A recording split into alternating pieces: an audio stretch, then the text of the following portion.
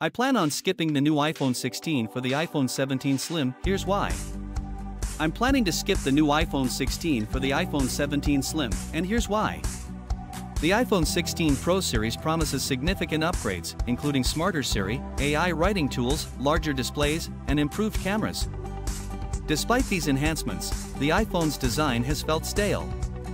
It's hard to distinguish newer models from older ones like iPhone 12.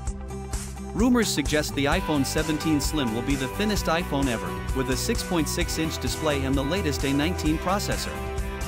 Front page text Jon Prosser claims the 17 Slim will be just 5mm thick, making it more comfortable to carry than the current models.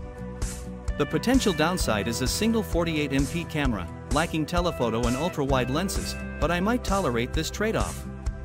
The iPhone 17 Slim could cost up to $1,299, which is $100 more than the Pro Max, making it a premium choice. Overall, the iPhone 17 Slim's portability and unique design make it worth the wait, even if it means skipping the iPhone 16 series.